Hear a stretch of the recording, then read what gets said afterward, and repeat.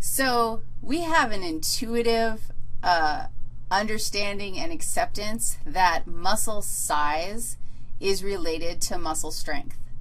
And so we look at these men here, and we probably, most of us, except for maybe me, would be pretty convinced that any one of these fellows would probably beat me in an arm wrestling match.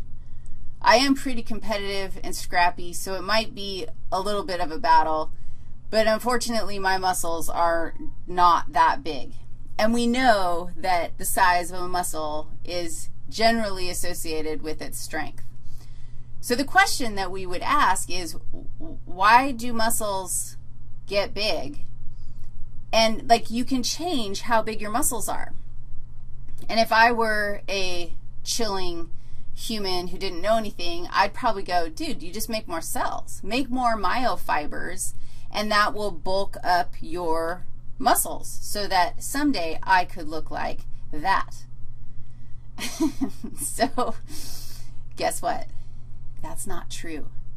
When you are born out of your awesome mama's belly, you have all the myofibers that you're ever going to have. Now, I had a conversation with actually two different classes this week. Why? I guess we're all talking about muscles. Regarding my small 10-year-old son, and I made the assertion that my small 10-year-old son will never be a buff stud. Like, it, it just isn't going to happen. And my students were like, dude, you're the meanest mom on the planet. How can you say stuff like that? That's terrible. And I was like, I, am not being mean. like it just, it's the way it is. And when we look at muscle anatomy, we realize that, yeah, there are some people who are born with more muscle fibers than other people.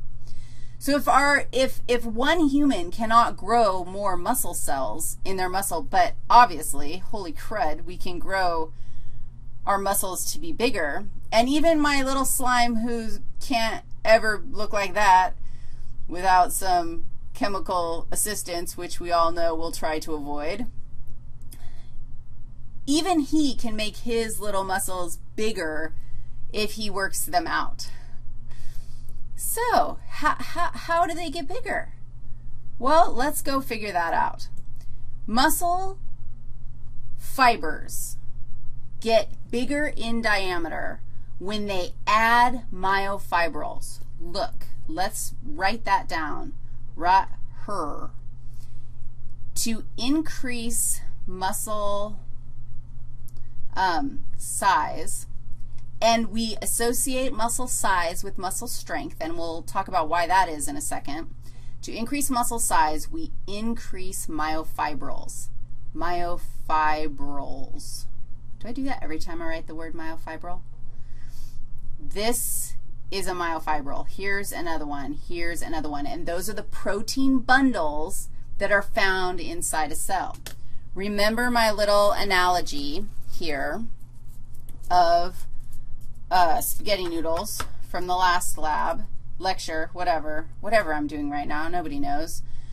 Remember how the organization of my thick and thin filaments gives me this stripy look.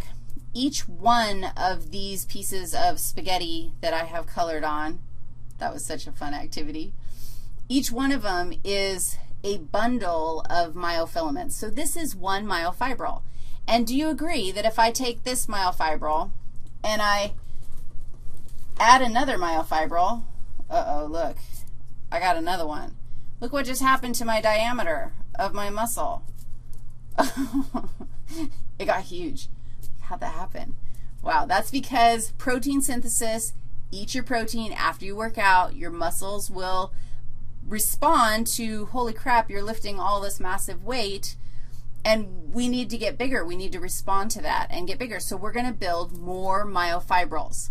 Now, if you think about it, myofibrils are just proteins, myofilaments, so we're adding more myofilaments as well. But are we adding more muscle cells? No. The next question that I want you to think about is, okay, awesome, we added more myofibrils. It made our cell, um, our muscle organ bigger but why does that why is that associated with more strength? How is it possible that more myofibrils mean more strength? Well, to get there, we need to look, we need to remind ourselves about how the myofilaments are overlapping each other and how they're actually set up inside the myofibril. And remember that our thick filaments here, these purple things, have all those little heads. And the heads grab a hold of the thin filaments and pull the whole, the Z lines in my sarcomere, pull the Z lines closer together and shorten the muscle. Now think about this a second.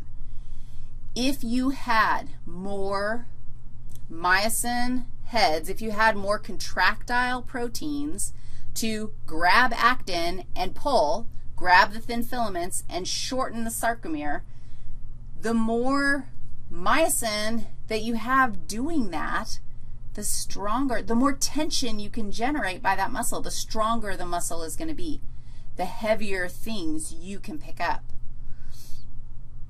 If you think about adding in more and more and more, it's almost like adding in more people to in a tug of war battle.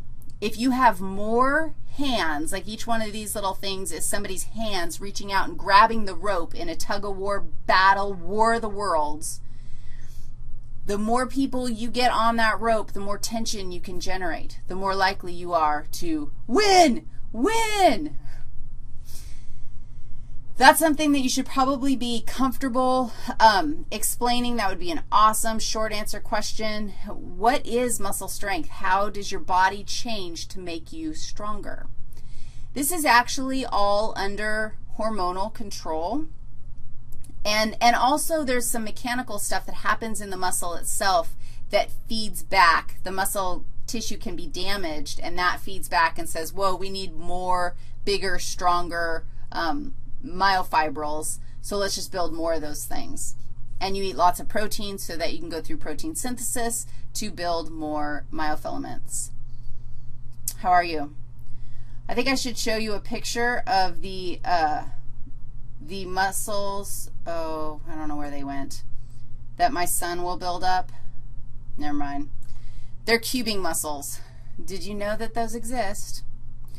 My small child, I guarantee he could beat the crap out of anyone out there except maybe Felix Zemdegs in a Rubik's Cube battle because he's built up a lot of Rubik's cubing muscles in his thumb. And somewhere I had a picture of thumb muscle anatomy to indicate that, yes, we have other muscles that we can work out and make very strong. Okay, my children are very cool. Don't worry. I'm not a bad mom. No, I'm not. Okay, I'll be right back, and we'll talk a little bit more about what happens here in the sarcomere.